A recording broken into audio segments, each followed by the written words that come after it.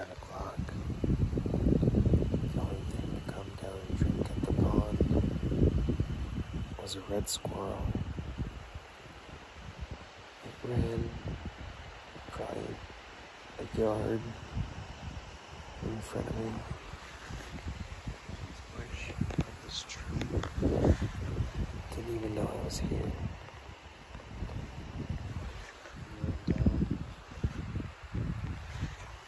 By that log to drink water. I drank water for like 30 seconds and then took off, ran through the bushes. But soon I'll be in the shade. It might get a little cold. Something has to come by here.